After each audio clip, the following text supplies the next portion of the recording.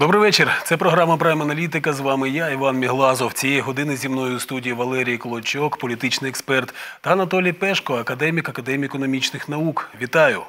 І найближчим часом говоримо про таке. Верховна Рада проголосувала за перезапуск ДБР. Угорський посол заявив, що йому забагато української мови. Україна відреагувала. Слуга народа обрала наступника Яременка на посаді голови міжнародного комітету. Верховна Рада проголосувала за президентський законопроект, що передбачає перезапуск Державного бюро розслідувань, а відтак і дочасне припинення повноважень голови ДБР Романа Труби та його заступників. Згідно із ухваленим законом, очільник бюро самостійно керуватиме цим органом, не розділяючи повноваження із заступниками. Він також, також зможе особисто призначити і звільняти їх. Раніше це було за конкурсом. Директор ДБР призначається на посаду президентом України після проходження конкурсної комісії. Сьогодні, перед початком голосування у Верховній Раді за цей законопроект, президент Володимир Зеленський заявив, що права рука директора Державного бюро розслідувань Романа Труби підозрюється в отриманні 150 тисяч доларів хабара і закликав депутатів ухвалити законопроект. Також депутати підтримали поправку, що передбачає створення управління з розслідування справ Майдану у ДБР та переведення туди слідчих із Генпрокуратури. Припинення повноважень керівників ДБР, мова йде про директора, першого заступника і заступника, одразу з набранням чинності даного закону. Ми всі, зважаючи на останні події, які були в тому числі інформації, зацікавлені в тому, щоб цей закон був підписаний якомога швидше. 100% підтримали створення і переведення цілого підрозділу, який розслідував злочини під- е, під час революції гідності з прокуратури в Державне бюро розслідувань. Але я дуже закликаю, щоб це не були ніхто з тих, хто зараз є в керівництві ДБР, тому що це буде величезна помилка, і це буде плювок в обличчя всім парламентарям, які вимагали звільнення цих людей.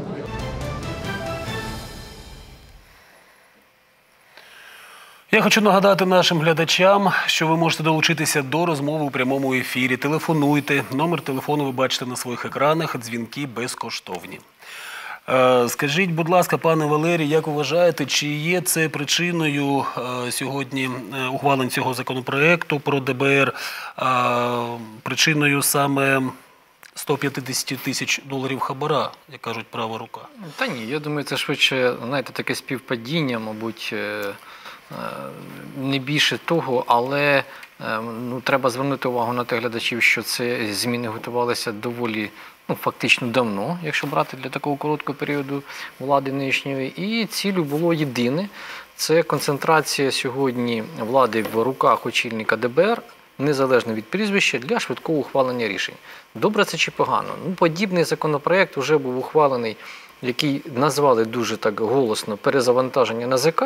Так само сьогодні перезавантаження ДБР.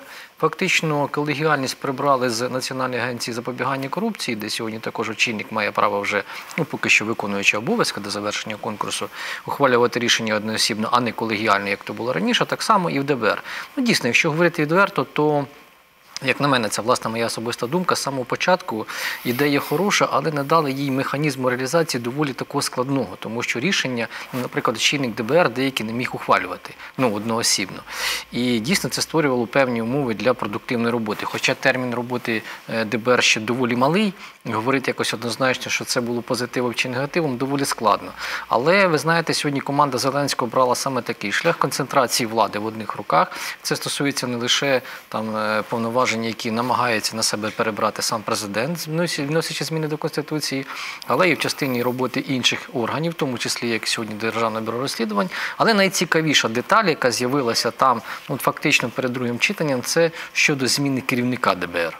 З огляду на те, що пан Труба він доволі активно просував і лобіював інтереси групи офісу президента, фактично Богдана Ну, протягом усього терміну. Да, і тут він попадає в таку немилість, дійсно на рівні закону його знімають фактично Так я про що і кажу, ці 150 А тисяч, можливо, тисяч це, це було просто- ще, як це кажуть, додаткова крапелька. Можливо, да, бо синхрон заява Зеленського вона доволі цікава, бо знаєте, права рука не відає, що робить ліва. Тому, власне, це є такий прямий натяк, що він не задоволений певною роботою труби. Відтак, ухвалення цього закону їм буде додатковим важелем для швидкого усунення його з посади. Добре це чи погано побачимо, бо головне розуміти, хто саме замінить сьогодні трубу на цій на посаді. Чи можливо він залишиться? Ну, побачимо. Питання часу. Е, Зрозуміло, пане Анатолій, як ви вважаєте, е, таким чином, як це може відобразитися на простих пересічних громадянах України? Чи, наприклад, до ДБР вони ніякого відношення не мають, а, тому що ДБР саме займається розслідуванням, скажімо так, а, ну, першого рангу людей? Понимаете, э, меня удивляет вообще э, вот, э, позиция нашей, нашего народа, и даже вот э, этой передачи сегодняшней, да, тема. А, э, Есть такая поговорка, что при отрубленной голове по волосам не плачут, так? Так у меня такое впечатление, что вот сейчас украинскому народу отрубывают голову, а, в прямом смысле слова, да? А мы рассуждаем здесь о волосах. А що ви маєте на да? увазі е, з Я приводу имею в виду э, тот факт, что э, буквально в ближайшее время власть пытается провести э, закон о продаже земли. Это один из э, краеугольных моментов, на Ну, Це которых надо зрозуміло, але ж заострить зараз внимание. смика- Тобто И, ви э, вважаєте, що понимаете, подібні если- законопроекти це відволікає увагу Конечно, від більш конечно. Вот эти цікавого? вот все вот э, разговоры о ДБР, э, о каких-то еще там э, секс-скандалах и прочее, это, это все просто э, отвлечение внимания людей от глобальных п- проблем, которые стоят в государстве, и глобальных тем. Э, Поймите, если Украина потеряет землю, то она потеряет свой суверен- суверенитет. Э, Она перестанет существовать вообще как страна. Понимаете? це а мы в это це время рассуждаем о том, как ГБР будет э, Мы до- влиять на политику государства и так далее. Вы понимаете, во-первых, это не очень существенный орган, по большому счету. Да? Э, Он, конечно, нужный, и вообще все эти структуры нужны для государства. Но сегодня главное решать вопрос – остановить продажи земли, потому что эта продажа земли идет не в интересах фермеров украинских. Вы, вы послушали простых людей на улице, вышли бы и задали им вопрос, их интересует ГБР или нет. Поедете в село, спросите у фермеров, интересует их ГБР и все остальное или нет. Они вам конкретно скажут, э, что самое страшное для них, это то, что они э, трудились на этой земле, что они вложили в это колоссальные деньги. А я вам скажу, а сегодня що у них є, эту землю є дуже забирают. багато людей, И поверьте, українців, что- яких зараз дуже турбує е, доля, е, скажімо так, е, родичів заби- загиблих на Майдані. І справа в тому, Понимаете, що при саме это при всё ДБР правильно, зараз это всё створення правильно. управління Это всё з правильно. розслідування Но вы справ обратите Майдану. внимание, всех турбовала и мова, да? Но когда они едут работать в э, западные украинцы, которые больше всего это вопрос мовы турбует, да? Э, Когда они едут работать в Польшу, Германию, там они не поднимают вопрос украинской мовы. И их не интересует, на какую мою они разговаривают. Их интересует лишь бы заработать на жизнь, лишь бы выжить. Но они не думают о том, что они-то выживают, а старики, дети, которые живут здесь в Украине, погибают. И Я об зрозумів. этом надо думать сегодня. Сегодня не надо рассуждать о ГБР, не надо э, о Майдане. Знаете, пожалуйста, это можно параллельно делать, но это не главная тема. Сегодня э, там погибло на Майдане 100 человек. А сегодня Ну, речь по идет різним об оцінкам, уничтожении навіть деякі миллионов, кажуть, що і 700. миллионов украинцев идет. Вы можете сопоставить, что происходит? Но просто это все делается так, из-под тяжка и тихо, э, и так от- отвлекается внимание людей, э, что вот вы и ведущие, да, и, и, и как бы все вот все э, режиссеры, кто там готовит передачу, они не думают о том, что главная тема сегодня должна быть э, а, обсуждение не ГБР, не что-либо другое, а вот вопрос земли.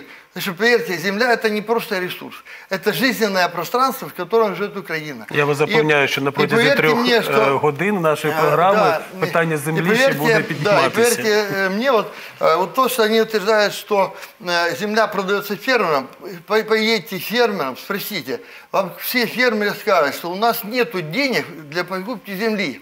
Мы все деньги вложили в производство, и у нас денег для покупки земли нет. Кредиты, которые они вам обещают дать, это, ну, знаете, цинизм, э, 4 миллиарда гривен для покупки земли. А Это при том, что земля-то стоит э, самая минимальная, и они предлагают 2000 долларов. 2000 долларов. При этом они предлагают э, продавать в одни руки 200 тысяч гектар. умножьте 2000 долларов на 200 Пане тысяч Анатолій, гектар. я Это вас розумію. 200 миллионов Я вам- долларов. я от за що кажу, що 400 зараз у миллионов нас- у долларов. нас в кожному Скажите, випуску- у какого в кожному фермера есть випуску 400 є- миллионов Ми долларов? піднімаємо обов'язково цю Понимаете, тему. да? То есть э, это же вопрос э, краеугольный. Ведь все, вся, э, весь закон прописан под то, чтобы эту землю купили три олигарха в Украине. Три. А Ну. потом перепродали ее э, иностранным олигархам, еще транснациональным компаниям, связанным с Федеральной резервной системой США. Я не Вот хочу и цього- всё. цього з И приводу Украина з вами становится, сперечатися, тому и що Украина повністю исчезает згоден, как скажімо страна, так. понимаете? Да? А мы рассуждаем сегодня о ГБР. Ну, Так не кому тільки это надо ДБР. быть У нас ГБР? і дуже багато інших Знаете, новин это, зараз, это, які это все ж точно таки... так же, как и иде- идейцы, да? Им за, за бусы предлагали отдать мешок золота, и они отдавали по своей наивности. Так где сегодня индейцы? Где этот континент? Пане То есть Анатолій, я он вам есть, також а, саме з а, а, а повною этой нации нету. И никто не відповідальністю говорит, кажу, и що, никто не говорит наприклад- про язык, никто не говорит сегодня а, про какие-то другие вещи. Добре, я вам второстепенные, скажу, що понимаете, да? зараз, наприклад, в місті всі Поэтому- люди зараз кажуть, як вони б хочуть перезимувати, чи зможуть вони Правильно, перезимувати цю правильно. зиму. А ви І- нам і- кажете і про землю. перезимувати це теж важливе питання. То давайте говорить об экономике, давайте говорить о тех сит- э, прос- процессах, которые э, необратимые, и они вот сейчас прямо на, на кону стоят, а мы говорим о второстепенных Добре, вещах, скажіть, будь понимаете? ласка, яким чином е, Державне бюро розслідувань може впливати на розвиток економіки в Україні? Я думаю, что это э, бюро расследований пока в том виде, каком оно есть, оно никак не влияет на... Оно просто служит для э, э, выполнения определенных политических заказов. Поняли, да? Вы обратили внимание, А, например, как, какие? как Роман Труба исполнял э, указания э, главы э, офиса президента? Или э, других э, Ну, членов, дійсно, ми тільки э, що руководства, помітили, понимаете, і пан Вот- Валерій вот казав это- про вот це, это що вони есть- підтримують Вот это есть тот факт, да, президента. который говорит, что э, по сути дела все эти правоохранительные органы, они не выполняют функцию ту, о которой, как говорится, мы на, на них надеялись и э, надеялись на то, что они действительно будут э, с- стоять на страже закона, бороться с коррупцией и так далее. Напротив, эти органы, наоборот, используются с целью э, у- уничтожения политических противников. Вот и все. Поэтому я не считаю, что это вопрос, который вообще можно обсуждать. Я вообще считаю, э, что этот орган не нужен. В стране достаточно правоохранительных органов, только мы все финансы тратим на правоохранительные органы, вместо того, чтобы потратить их на пенсионеров, медиков, учителей и так далее. Ну, Це я з вами згоден. Більш того, да? у нас якимось чином... они э, 20% всего бюджета отдают на правоохранительные органы А э, врачам отдаются копейки. А кримінальна обстановка все И, гірше і и- гірше. да, э, и смотрите, и каждый день у нас сегодня расстреливают на улице людей. Каждый день. Э, Если брать вообще всю статистику, Я они з же вам вами ее не згоден. показывают, да? Раніше А була реально- МВД, прокуратура Конечно, і було менше СБУ, кримінальної СБУ скажімо так, достаточно. Э, Этих правоохранительных органов достаточно. Более того, я вам скажу, вы знаете, сколько у нас э, полиции, э, сотрудников полиции? Э, их больше, чем в армии. 300 тысяч, армия где-то порядка 150 тысяч человек. А якщо порівняти з західними країнами, Так а она вообще Дес- превышает где-то раз в десятки 5-6, разів. понимаете, да? Э, Численность полиции в этих странах. То есть, Это а, при всем при том, что я зачем ще раз власть, скажу. э, зачем власть так много денег дает на правоохранительные органы? Она а, кого защищает? Она нас защищает или она себя защищает от нас? У меня такое впечатление, что она пытается себя защитить а, от нас, понимаете, от гнева народного. Вот для этого и, тратятся на это колоссальные деньги. А э, функции этих всех ГБР, НАБУ, САП и так далее, вы же видите, поймали, а, а, типа посадили, отпустили. Поймали, типа посадили, э, опять э, нашлись какие-то аргументы, отпустили. Это чисто показушная деятельность. За- замыливание глаз людям и отвлекание внимания, отвлечение внимания от глобальных э, краеугольных про- проблем. Да? Э, проблем вообще э, быть или не быть в Украине. Вот э, вопрос земли, Ну, это с как раз теми- тот с вопрос, теми когда питаниями я- быть или не быть. А кроме того, я скажу, идет целенаправленное уничтожение и аграрного бизнеса, так? Значит, и Ну, от я вам скажу, що у нас Я вам і з скажу, приводу і освіти, металургія. і реформи в освіті У нас також две было, дуже у нас две было. багато проблем. Освита и медицина вообще, они, они практически уже уничтожены.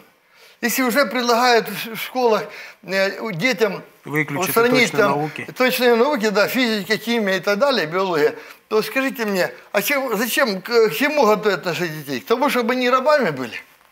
Понимаете, да? И, и э, по всей види- видимости это так к этому все идет.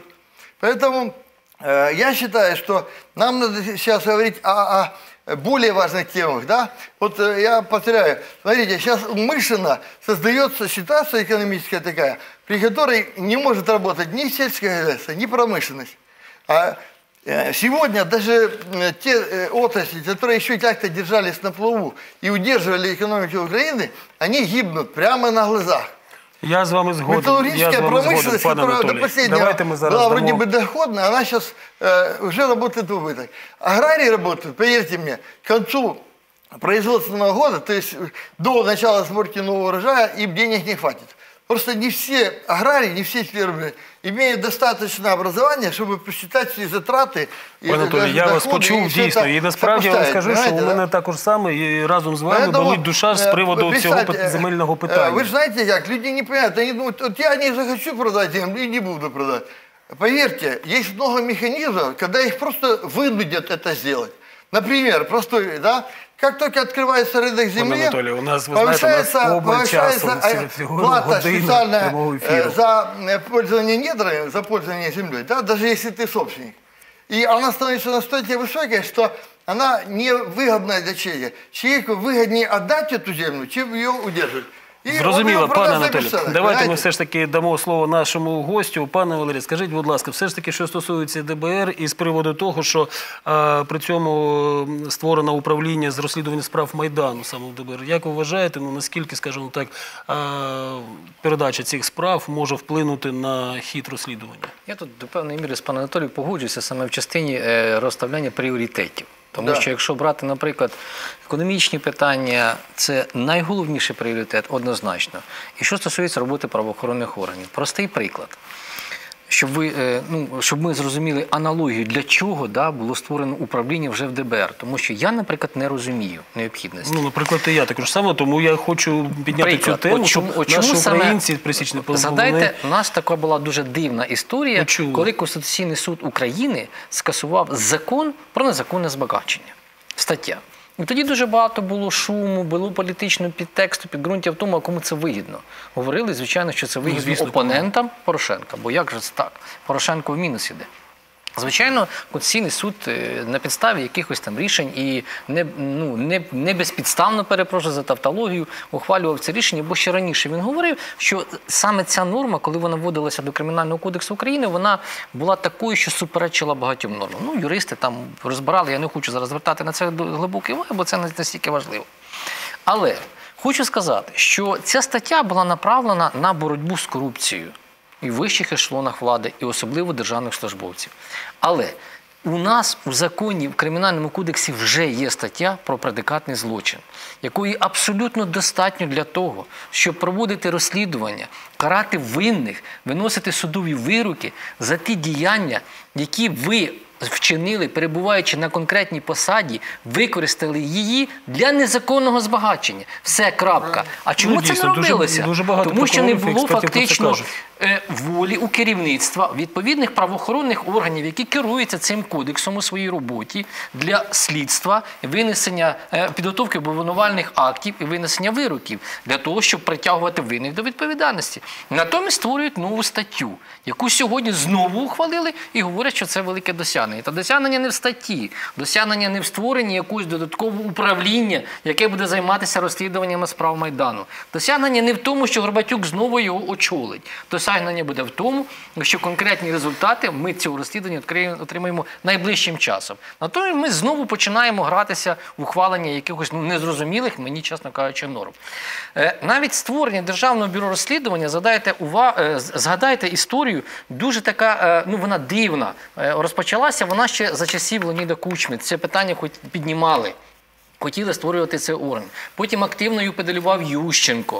В період після помаранчевої революції ми говорили, що нам цей орган дуже не потрібний. Але воно так і відходило. Врешті-решт створили. І ми давайте скажемо щиро, що цей державний орган, Державне бюро розслідування, правоохоронний орган е, дублює дуже багато функцій Національної агенції з боротьби з корупцією. Ну так воно і є. антикорупційного бюро.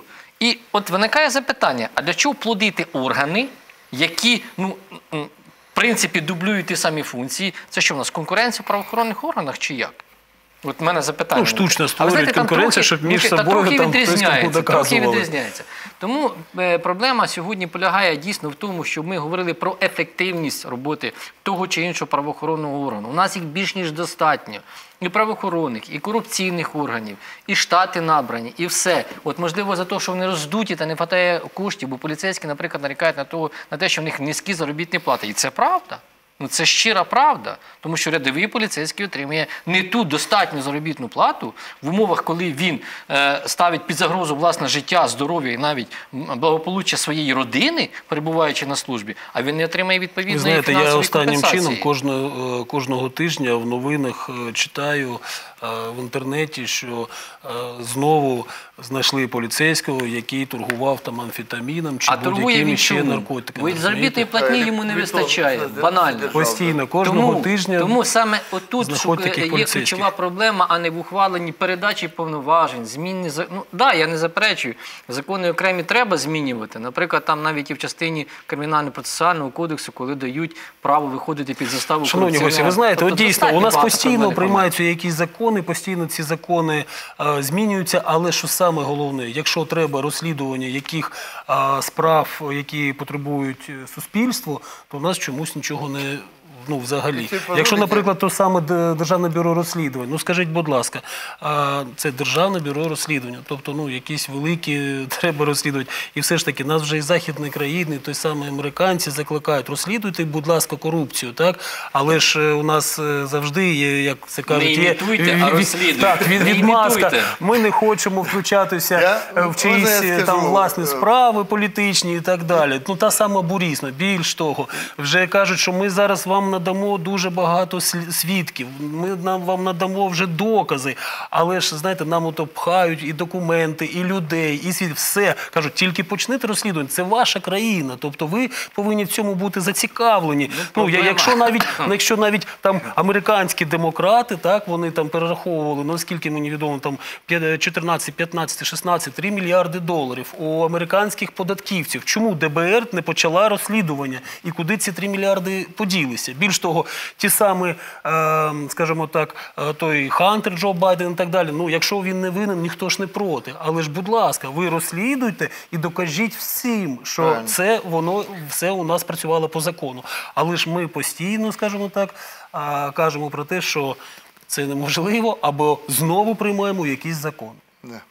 Э, Можно, Иван, я э, д- э, несколько слов, уже коль вы заговорили об этих э, новых правоохранительных органах, там НАБУ, САП и ГБР, я вам просто Может, еще как э, коротко, нет, ну пока, пока только эти. Э, Я хочу вам сказать, что, ну вот как бы люди мало задумываются, но на самом деле эти органы были созданы американцами, а, так как именно де- демократическая партия Америки, возглавлявшая власть в тот момент, когда был переворот, вы помните, Вона принесла её сюди представители, свою Виктория демократію в Нуланд, да, Україну. там и, и даже м, Хиллари Клинтон и многие другие э, принимали в этом непосредственное участие. Так вот, э, они создавали эти органы, это именно они создавали, это не мы создавали. Это они создали эти органы, ГБР, там, НАБУ и Для САП, того, щоб вони для того, потім не чтобы розслідували- контролировать. Нет, ничего они расследовать не собирались. Они и так все знают, поверьте. Я же вам рассказывал, э, что в в Нью-Йорке есть банк, э, стандарт, Чартеред банк, да? Это банк, который э, принадлежит э, одному человеку, э, члену Федеральной резервной системы, Бернарду Бараху. Э, Этот банк контролирует все транзакции, он видит все пере- переводы денег э, и обращает внимание на любой платеж свыше 50 тысяч долларов. Поэтому поверьте, что все наши олигархи, а все те, кто у власти стоят, это в основном олигархи, да? А если нет, то они ими становятся, потому что они используют власть не для э, спасения и развития экономики э, Украины, они используют власть чисто для личной наживы. И эта власть не исключение, а еще э, худший вариант того, что было при Порошенко. Поэтому они хорошо его знают. Вы смотрите, вот когда им сейчас Коломойский не угоден, да, значит, по нему открыты уголовные дела. Причем э, серьезные уголовные дела. Там эти уголовные дела ведет так называемый суд РИКа. Э, то есть это суд, э, э, который расследует самые тяжелые дела, связанные с мафиозными структурами и так далее. И э, у него, у Коломойского, арестованы там активы на сумму где-то порядка 4, даже больше миллиардов долларов. Это несколько металлургических заводов, гостиницы и так далее. И поверьте, что для Коломойского сейчас ситуация крайне тяжелая. Он даже не может выехать ни в одну европейскую страну. Потому что кроме Израиля, во всех других странах он будет арестован. Единственная страна, где он может себя чувствовать безопасно, это Украина. Потому что его протеже президент этой страны. Понимаете, да? Поэтому э, в данной ситуации вот эти все ГБР и так, САП и НАБУ, они были созданы именно той прежней американской властью, чтобы контролировать украинскую власть. Именно под предлогом борьбы с коррупцией э, в высших эшелонах власти. А зачем бороться, если они и так знают, ну, где у кого счета, знают, сколько денег на этих счетах. И при желании... саме тому українська и- влада и зараз при і не желании розслідує, они тому могли що бы... все це они- знають. Да, и при, при желании они могли бы сейчас э, любого из этих высших э, должностных лиц Украины э, тоже посадить не глядя.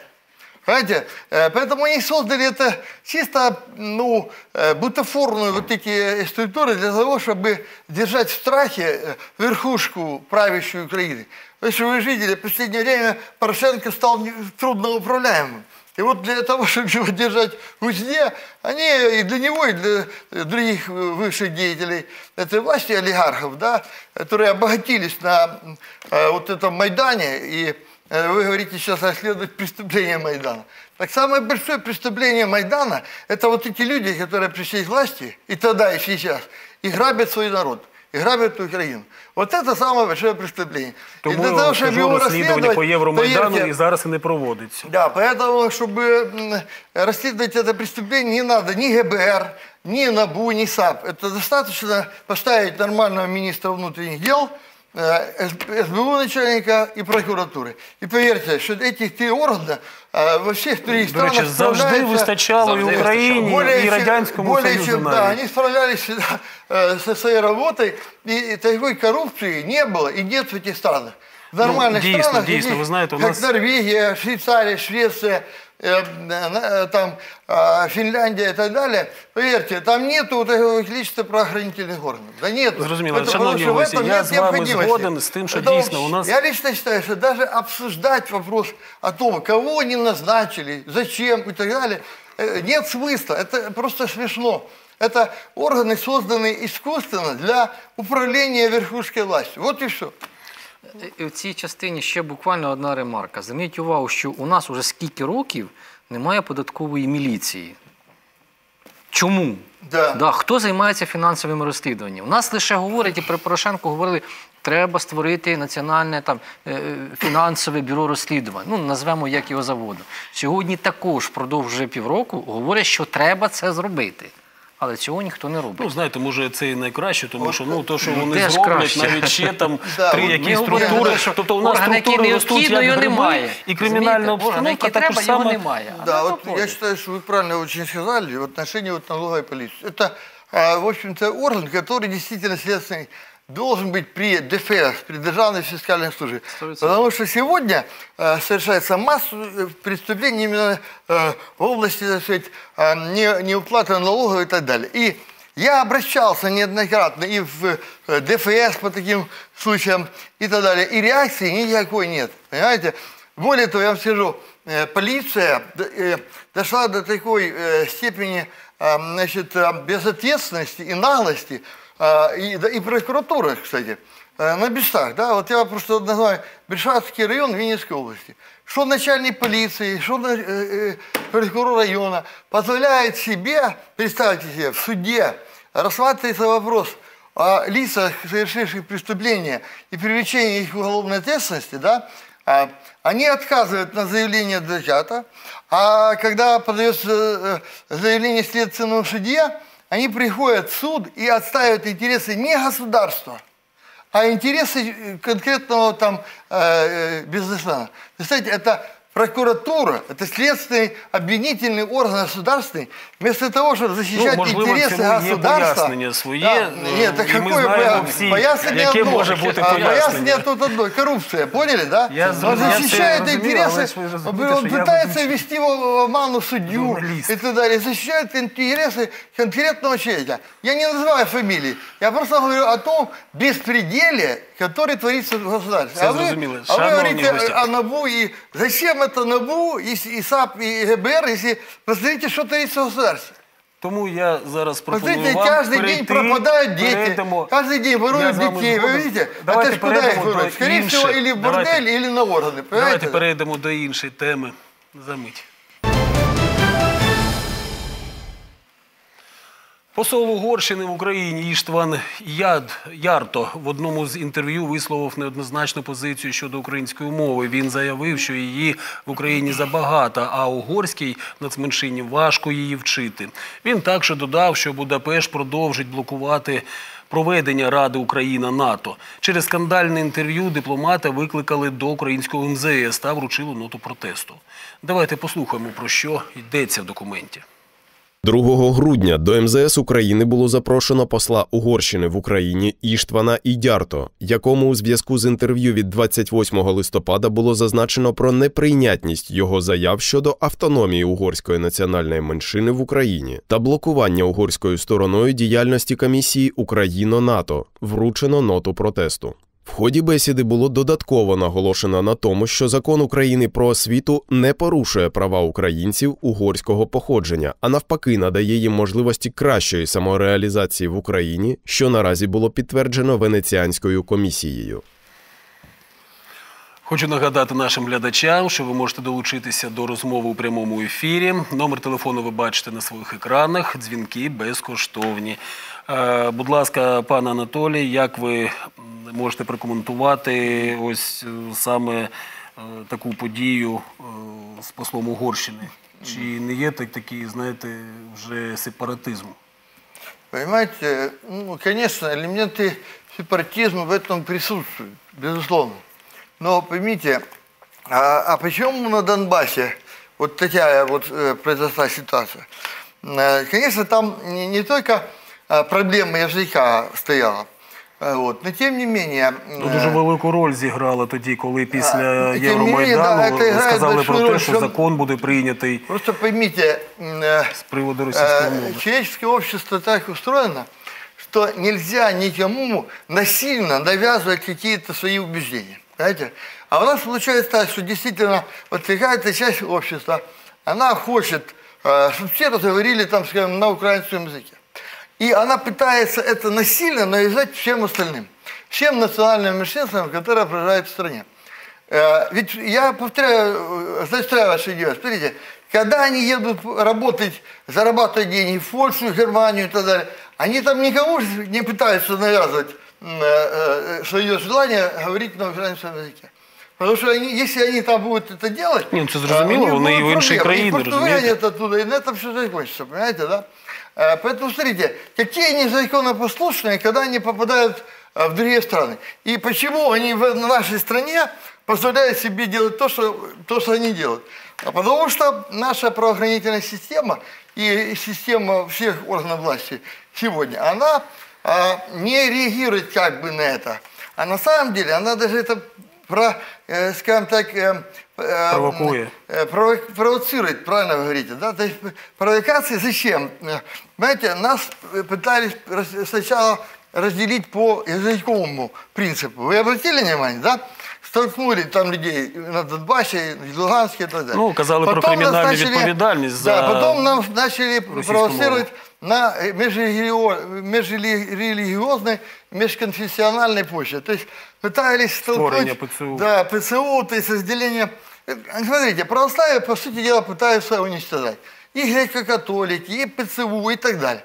Знаете, то есть идет планомерная, целенаправленная борьба со славянским миром. И это проявляется вот в этих вот всех вещах. А теперь, когда они увидели что как бы и этот механизм не сильно работает, давайте сейчас столкнем еще людей на, на земле. Вы же понимаете, если сейчас начнутся вот эти продажи земель и так далее, н- э, начнутся выделения меж в натуре, поверьте, будут с топором с- соседи идти на соседа за 10 сантиметров земли. Ну, це Понимаєте, як да? в Кайдашева сім'я, якщо Да, пам'ятаєте. это когда же семья, правильно, вы вспомнили этот, это, это, эту прозу, да. И я вам говорю, что это факт. Я уже сегодня вижу эти явления, понимаете, да? Э, К сожалению, интеллект нашей нации и культура э, недостаточная для того, чтобы сейчас э, вводить понятие такое, как рынок земли. Э, И в целом э, государство не готово для этого. Понимаете, не готово. Зрозуміло, пане Потому что нет Анатолій. ни- Давайте ни ми запитаємо банка нашого земельна, гостя ще, ні тому що він кадастру нормально, а, ні також має е, висловитися з учета цього і приводу. так далі, понимаєте? Зрозуміло, пане Анатолій. Е, Скажіть, будь ласка, пане Валерій, ну з приводу, що стосується Угорщини, ми пам'ятаємо, що на багатьох державних установах е, вивішувалися е, прапори, прапори так, більш того, навіть я сам особисто знаю, я був в цих районах, навіть документація, коли в сільрадах ведеться, наприклад, на румунських язиках, що стосується Чернівецької області. А, Ну, такі села дуже маленькі, і, наприклад, ведеться документація саме сільських депутатів, е, засідання депутатів на угу- ну, угорською мовою. Потім вона якось перекладається. Я, тому що я питався, я кажу, ну яким чином тоді у вас є всі, як ви працюєте з рай держадміністраціями? Мені казали, що ось зараз ми таким самим вони мені показували, дійсно, це угорською мовою, дійсно це румунською. Я кажу, ну а куди тоді дивляться у нас Служба безпеки України? Тобто у нас ну, таким чином сталося, що дуже багато уваги стали приділяти російськомовним громадянам, які не повинні розмовляти. Тобто е, там на сході, ну дійсно Анатолій е, правильно про це сказав, що дуже багато людей було там мільйони були обурені е, заявами про те, що наприкінці, вже в кінці Євромайдану, що буде кримінальна відповідальність за. Російську мову. А тут ми бачимо, що вже 6 років після Євромайдану навіть документація ведеться на мовах, скажімо так, інших країн. До Ну, чого це може швидше призвести дійсно? Мов е, не інші країни, я б сказав би на мовах національних меншин. Бо це Ну, слухайте, ну якщо просто спілкуватися, це давайте. одне. А якщо це, наприклад, засідання депутатське, навіть сільрад, це І в принципі це не є порушенням закону, тому що це дозволяється робити паралельно вести, якщо громада ухвалила рішення, вести паралельно документацію на І вони мові потім перекладають, я вам ну, так відверто скажу. меншини, то тут нічого такого крамольного в принципі немає. Але проблема, на мій погляд, полягає в тому, що ми часто використовуємо в своїй риториці заборону говорити на якійсь мові. Хоча такої заборони, навіть закон мовний, так званий, він не має. Але він покликаний дійсно захищати українську мову. І як на мене, то, по-перше, цей закон був ухвалений в непідходящий момент, дійсно. Його треба було ухвалювати раніше, і були можливості у тоді в коаліції парламенту восьмого скликання Ну зробити так, це раніше, а не в період виборів. Я неодноразово цю ну, якось так м'яко можна було Звичайно. це поступово, скажімо так, більше 20 років незалежності України. Можна було поступово да, це робити. Державницька політика в Україні була дуже слабкою в питанні е, популяризації української мови. Дуже всі роки незалежності. І це стало причиною тому, що ми сьогодні маємо так дуже суттєво загострене мовне питання. Але воно не стільки загострене, стільки його використовують частіше для політичної боротьби. От так само сьогодні і заява була е, про яку ви, е, яку ви зацитували, вона ж не нова. Вона фактично вже була і раніше, але вона актуалізована в даний момент. Для чого? Для того, щоб привернути увагу, що в Україні існує ну не лише проблема на Донбасі, а є й проблема на Західній Україні, в Закарпатті. Але ж воно там завжди було. Правильно, але ми ж про неї зараз мовчимо. Замовчали, мовляв, вона сама розсосюється. Само не розсосюється. Ну, я ось про що і кажу. Да. Згадайте слова Клімкіна, коли ми взагалі е, ви отримали першу проблему із сьомою статтею, сьома ж стаття закону про освіту, де говориться саме про мову навчання. Ну, якщо Так, я помиляюсь, так, номері це не стільки важливо. Суть статті саме така. То тоді він коментував скандал, коли видавали е, інші паспорти на Закарпатті і просили написати вони потім переїхали навіть. Його, коментар який був? Я вам говорю, що України на Закарпатті має бути більше. Тобто міністр закордонних справ визнає, на ну я вважаю, Що там на Закарпатті рівні України України менше. дуже мало. Мало, а так. це і є проблема, тому що України було мало на Закарпатті, тоді і нині її мало. Її було мало в, на Донбасі, На її фактично не було в Криму.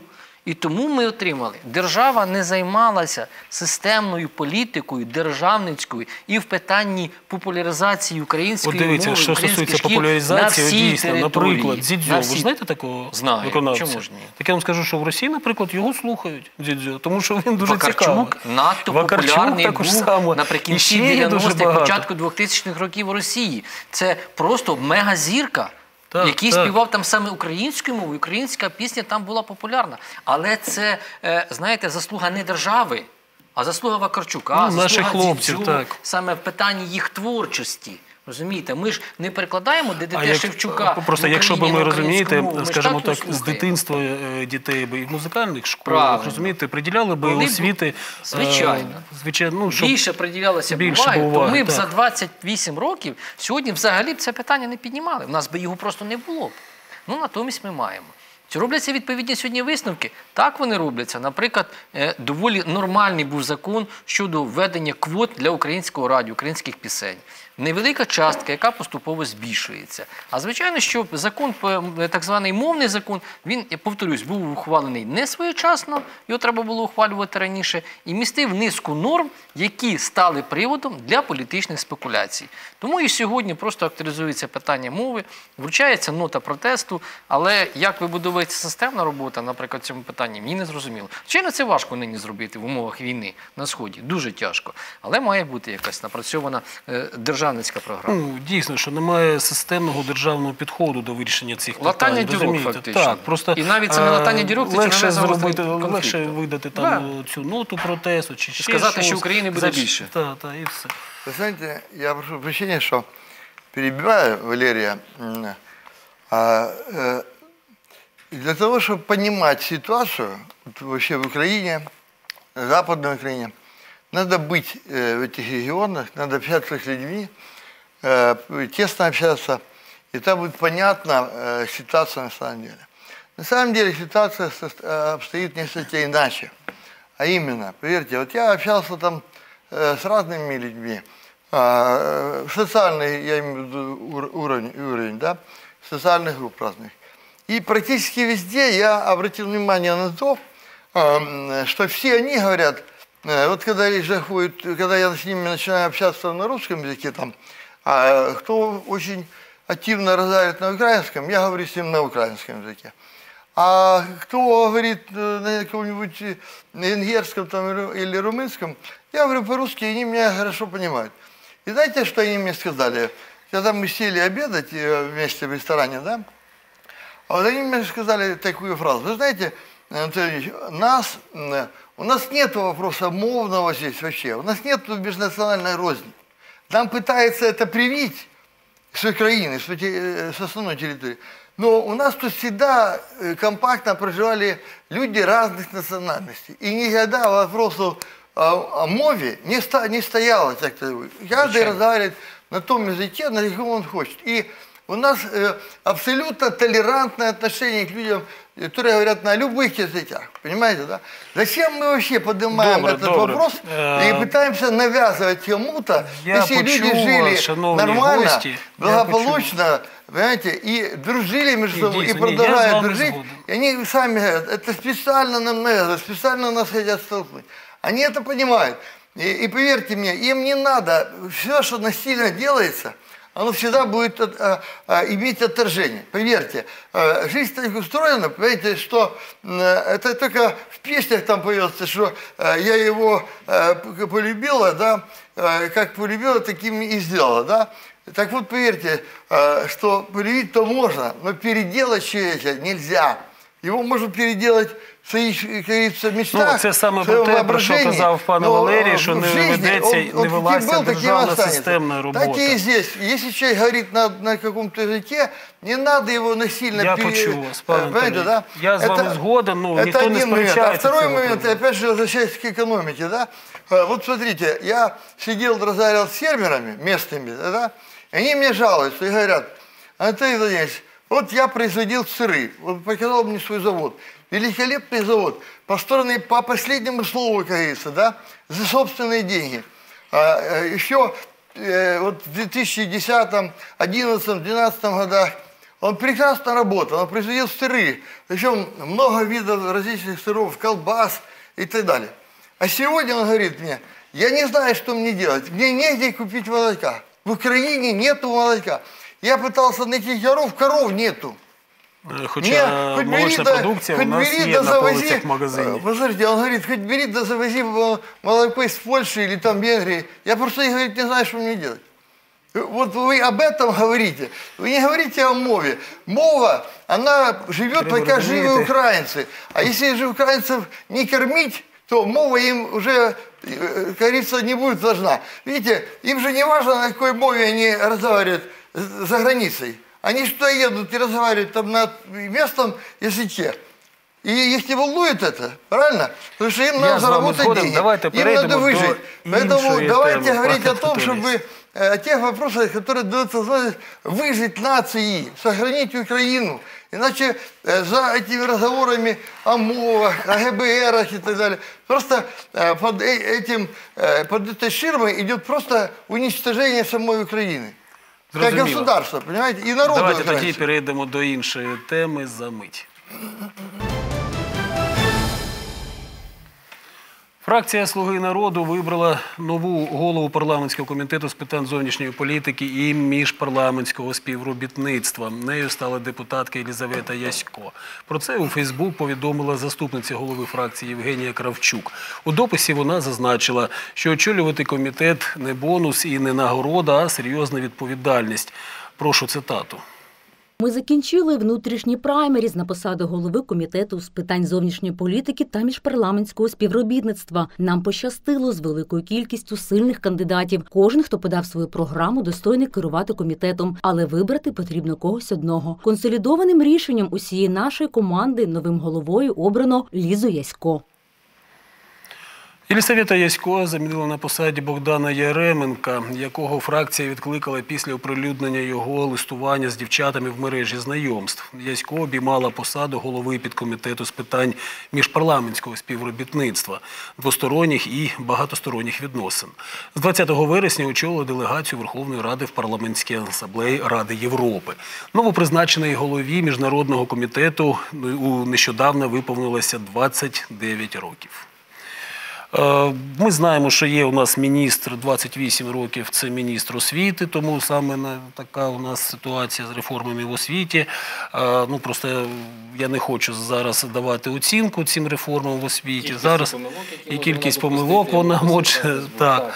Е, Ну, про що саме і пан Анатолій декілька разів казав, Знаєте, що взагалі зараз освіти у нас зараз от 29 років новопризначеному голові я- міжнародного я вам комітету. Одну, одну цитату. Вот э, недавно я слышал выступление одного фермера на и- Житомирщине, да? Анатолий, Он ну, сказал- вы Нет, никак не слушайте, он сказал, знаете, он сказал, меня, говорит, бесит э, э, та э, картина, когда сидят, значит, парикмахеры, значит, э, а, там э, э, стилисты э, и, и тому подобное, значит, люди разных профессий, таких, знаете, со средним образованием. Их и обирал народ, рассуждают- разумеете, это Послушайте, обирали послушайте, украинцы, И рассуждают о том, 73%. какую делать земельную реформу, как, как реформировать промышленность и так далее.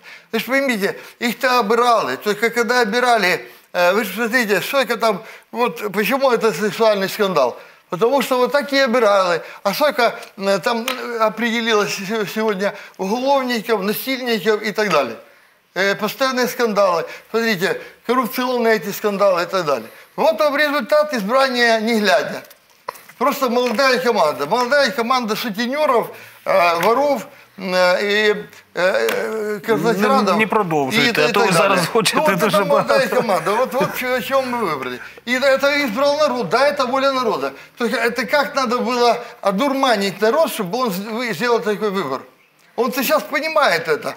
Но они еще по-прежнему считают, что это плохие депутаты. А э, Зеленский хороший. Е, Пане Валерій, скажіть, будь ласка, ну е, ми всі пам'ятаємо цей інцидент з Богданом Яременко, який Пам'ятаємо, да, це Е, правда. Так, але ж дуже багато було інцидентів вже і з іншими депутатами, і депутатками, скажімо так, і е, з уряду Олексія Гончарука. Е, Ну, як ви можете прокоментувати, що Я- саме головою цього комітету стала Єлизавета Ясько? Ну, наскільки вона досвідчена людина? Я, наприклад, просто, ну, якщо відверто Я кажучи, не абсолютно погоджуся в усіх тезах стосовно кадрової політики з паном Анатолієм, тому що це дійсно ну, кричущий жах. По-іншому називати тяжко. Ви говорите за Єременка, але цих же ж випадків не один.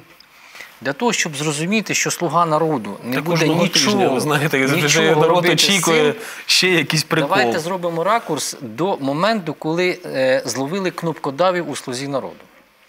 Першою обіцянкою однієї з перших слуги народу і Зеленського було, що не дай Боже будь-якого порушення закону про персональне голосування в Верховній Раді. Негайно цих народних депутатів мало було б звільнено з їхніх посад. Тобто вони б мали бути позбавлені депутатських мандатів. Натомість, що ми побачили? Їх пожурили пальчиком, сказали ай-яй-яй, так робити не можна, і вони попросили вибачення в Верховній Раді. Ну це ж сміх. Це реально курям на сміх. Ну як це можна по-іншому пояснити? Тому, коли ви зараз запитуєте мене, а чому так, то я вас відсилаю Ні, туди. я про те переписку, що стосується там у цих секс е, переписки саме Яременка, але ж він все ж таки був досвідченим е, досвідченою людиною, з цього приводу. Проаналізуйте, будь ласка, склад е, ну, народних депутатів стосовно там. Чим вони займалися, яку освіту вони мають, це перше. І по-друге, проаналізуйте конкретно персональний склад цього уряду, хто вони є і ким вони були раніше.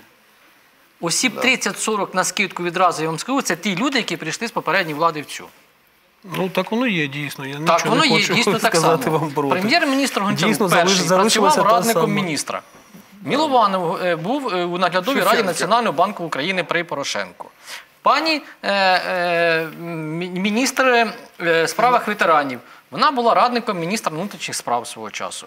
Міністр освіти, про яку ви говорите, вона також працювала в уряді тоді при Порошенкові. Там купа людей, Міністр які працювали. Міністр фінансів це Да. найяскравіший приклад. Пані Маркарова, міністр внутрішніх справ. Ну як може щось змінитися, коли люди, які працювали в попередній владі, вони мені, мені часто закидають. Так чекаю, вони ж не працювали на керівних посадах.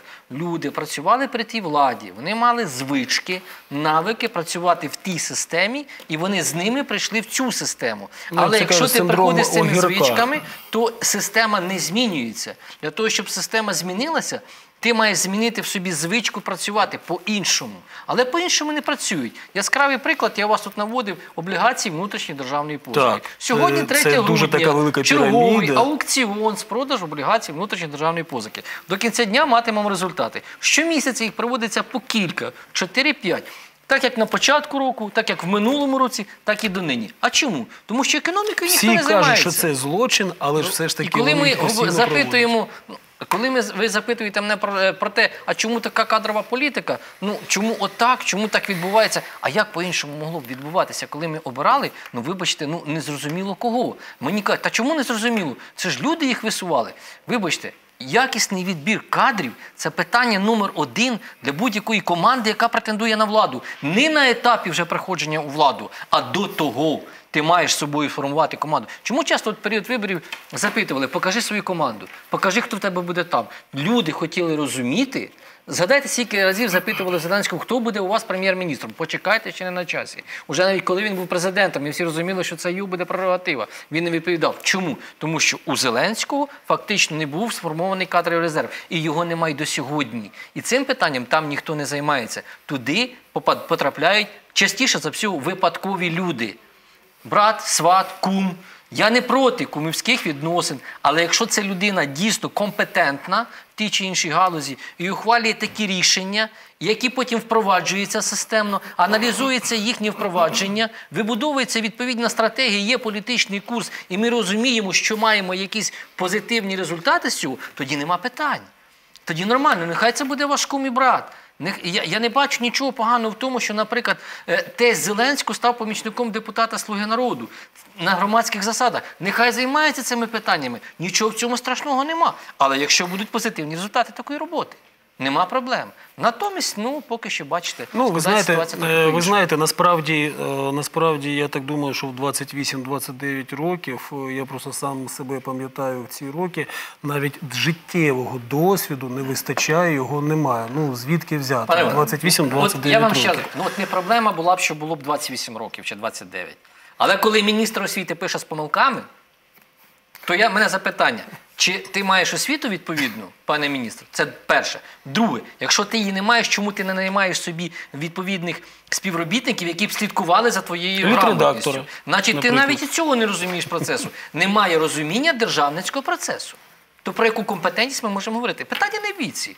Нехай цього було б і 25 років, 23. У нас є молоді депутати, є досвідчені молоді фахівці, які вчаться, працюють і мають Ну, все ж таки, але вони, все ж таки більш теоретики. Ну, ти знаєте, ну, як, як безумовно, визвати до, до дошки, до дошки, задати запитання, і він тобі е, ну, Іван- Іван, на все я- відповість. Але я- ж є ну, просто життєвий досвід. От просто Безумовно. кажу. Я прошу прощения, что я перебиваю вас. Э, Вот Валерий, э, он молодой человек, да, по возрасту, и поэтому он не может оценить ситуацию вот так, как мы с вами, да, люди более старшего поколения. Ви що, я Ми- ще молодий також сам. Но, Ну, видите, но 28 вы сидите более зрело, да? То есть, э, понимаете, вот, э, вот я Валерий еще объяснить, э, что, конечно, когда вот я в 29 лет защищал докторскую диссертацию по медицине, и мне не дали ее защитить, я тоже думал, что я самый умный. Ну, Может быть, я в своей отрасли и был э, достаточно подготовленный, но опыта жизненного у меня было явно недостаточно.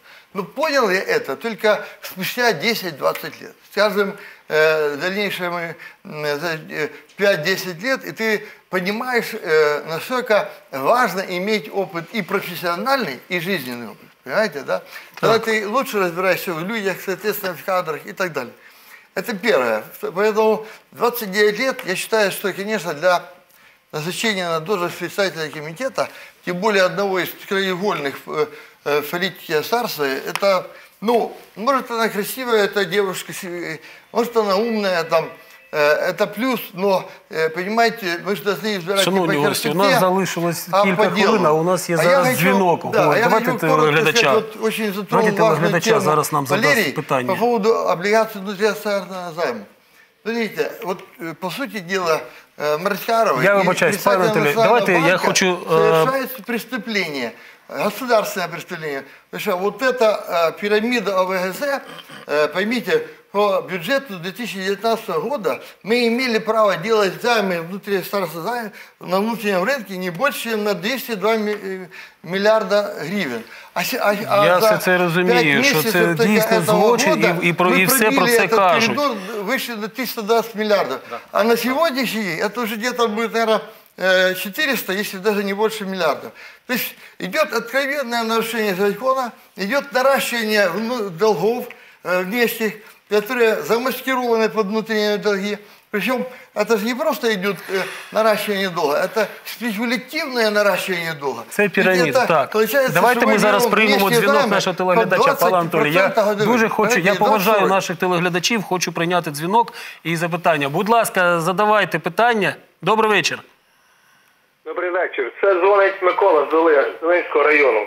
Будь ласка, дуже швидко. Я, хо- я хочу запитати таке, да, задати таке пи- запитання. Чи слуга народу, ну партія Зеленського, що вона мала право брати участь у виборах? Тому що, е, по-моєму, по закону, то е, за рік повинно бути створена партія, а вони створили під самі вибори Зеленського. По-моєму, Це було нарушення закону. Зрозуміло запитання. Я Будь ласка. готовий. Немає такої норми в законі, яка б е, обмежувала чітко термін реєстрації партії, хоча б за один день до виборів. Це не є проблема Е, відповідно до закону. Але загалом ця проблема зауваження дуже слушно, тому що є назва, а партії немає. Навіть Ну, останній раньше з'їзд была такая норма. Скажіть, будь ласка, а якщо, наприклад, була партія, ну знаєте, як це саме, купили партію, партія вже існувала 4 роки, наприклад, і просто, наприклад, там за місяць до виборів її е, ну, перереєстрували з іншою назвою. Ось і все. Ніякого порушення, скажімо так, немає. Да, ну понимаете, Ну, якщо ми відповіли ви на ваше пере- запитання. Перереєструвати можете, але кадри на містах поміняти дуже трудно. коли зрозуміло, зрозуміло. там немає. Да. Е, Я дуже радий, що ми відповіли на е, запитання нашого телеглядача. Сподіваюсь, що Відповідь була прийнята. Час нашої розмови добіг до кінця. Зі мною у студії були Валерій Клочок, політичний експерт, та Анатолій Пешко, академік, академік економічних наук. Дякую за цікаву бесіду. А я передаю слово моєму колезі Дмитру Васильцю. Він працюватиме для вас у цій студії наступні дві години. Не перемикайтесь, повернемось за кілька хвилин. Вітаю Іване, вітаю наші дорогі телеглядачі. Е, наступні дві години працюватиму з в студії я. Не перемикайтесь, попереду ще багато цікавих тем та цікавих гостей. До зустрічі в ефірі.